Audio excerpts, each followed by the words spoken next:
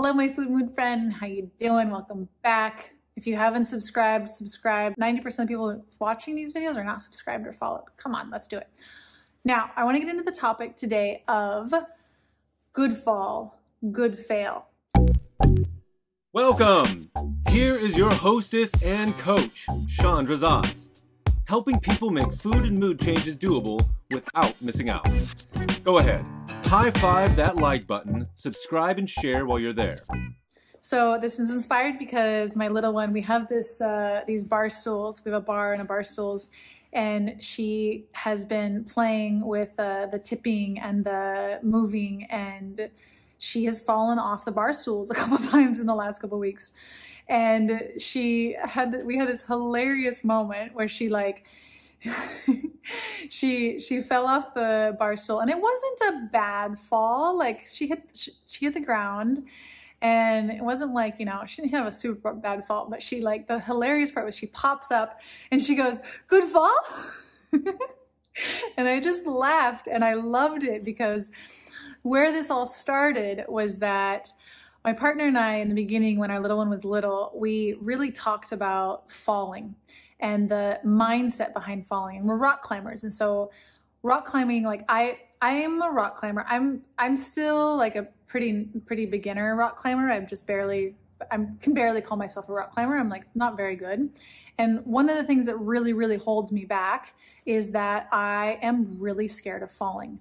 And I'm scared of spraining an ankle. There's a little part of me that's scared of dying, even though we do sport climbing, which is very safe there's I'm scared of falling. And one of the things on my to-do list is to practice falling, to like literally practice letting go of the wall and taking like a big fall and swinging in the air and feeling that big dip.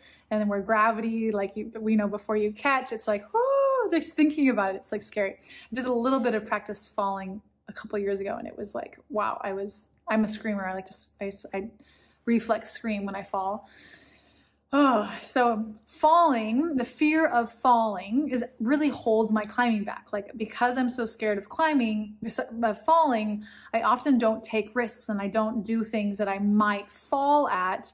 So my climbing is really hindered. And so my, my, my man and I, we talk a lot about, hello, my friend, how are you?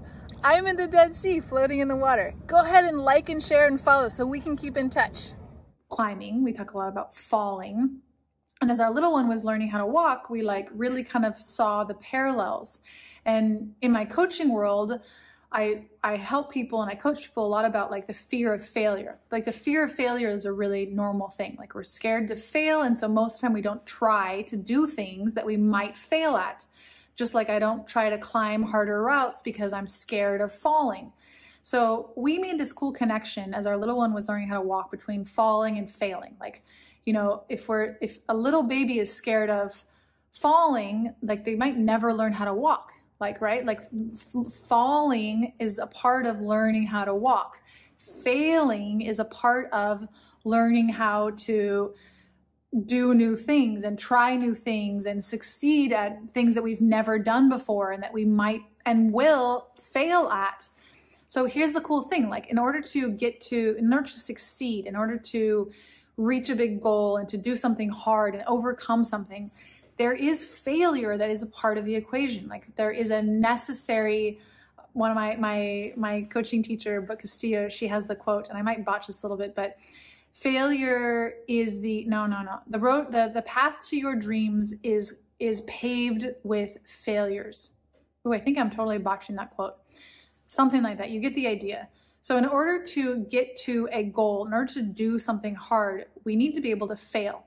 So my partner and I, we talked about this as our little one was learning how to walk. We're like, we want her to embrace and falling as a lifelong mindset that it's okay to fail and that failure is okay, that there's not a problem with failing, there's not a problem with falling. And we really think about this as like a mindset for her for life.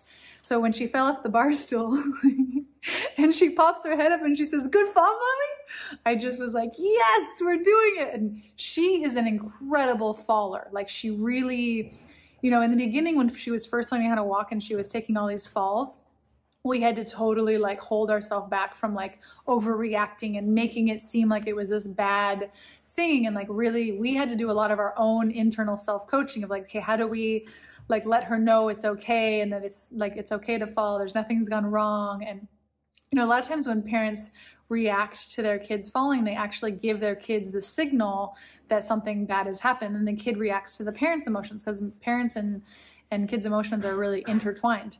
So it's like one of the best things that we can do is like keep our calm and like go go over to them calmly and let them know it's okay that they fail. So we did this. We did this like every day for a long time.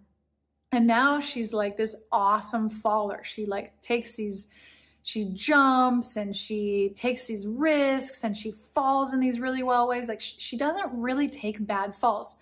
Granted, probably some of it is because she's very coordinated but is she coordinated because we've let her play so much and experiment with falling? And of course like i always you know safety safety is important. So i'll always look around and make sure there's nothing like sharp or something that's going to land us in a hospital or you know like we're i'm not saying that we're just letting her fall on everything but i look around i'm like is this a, a safe place for her to fall? Is there nothing sharp or nothing you know there's the ground is hard. there was a moment we were in Spain, we were at a park and the, the park had a really, really soft, uh, cushioned, the whole entire park. It was very, very soft ground. And our little one, she was, how old was she at the time? Two, little over two, I think at the time. And she was uh, climbed up this slide and all the parents are kind of like looking at us like, you're letting her climb up the slide. We've always let her climb up the slide because we're letting her fall and she fell off the top. She fell off the off the side. She didn't fall down the slide. She fell off the top. I think it was only like maybe six feet or something. and all the parents freaked out. And we were like, we kept our calm. We're like, we knew it was a soft ground. There was no like, there wasn't like crazy pavement. There was nothing sharp down there. And all the parents were like shocked at our reaction and our allowing her to fall and allowing her to climb and that's our philosophy with life. I mean, we're rock climbers. Where I I have still have it on my to-do list is to practice falling. My partner is listening to me say this. He's probably going to nudge me into that it's time for me to practice falling. It is probably time for me to practice falling because not falling and being so scared of falling is really holding my climbing back. Just like in life, if we're scared to fail, then it holds us back from going after the things that we're going to fall and fail at.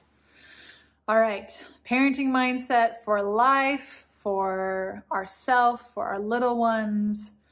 Falling is not a problem. Failing is not a problem. What if that was true in your brain? Have you ever looked into your brain and figured out what your beliefs on are of failing and falling? Because most of us, our default belief and thought is that they're bad and to avoid them at all costs because our brain is trying to help us survive make sure ensure, ensure survival. That means not falling, not taking risks, not failing, not feeling like a failure. There's a, a lot of power into rewriting those stories and deciding what we want to believe about falling and failing on purpose. Really, really powerful work. All right, if you want to implement this into your life, come get a hold of me. Let's work together. I can help you. And go after something big and practice failing, practice falling. Maybe you'll make a video of me learning how to fall climbing. All right. See you soon. Bye.